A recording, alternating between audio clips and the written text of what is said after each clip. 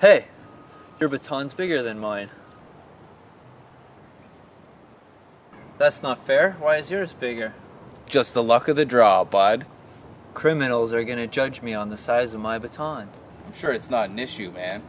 Seriously, which one of these would you rather have coming at you?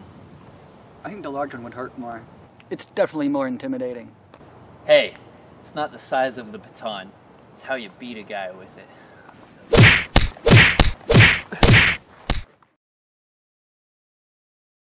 Just the luck of the draw, bud.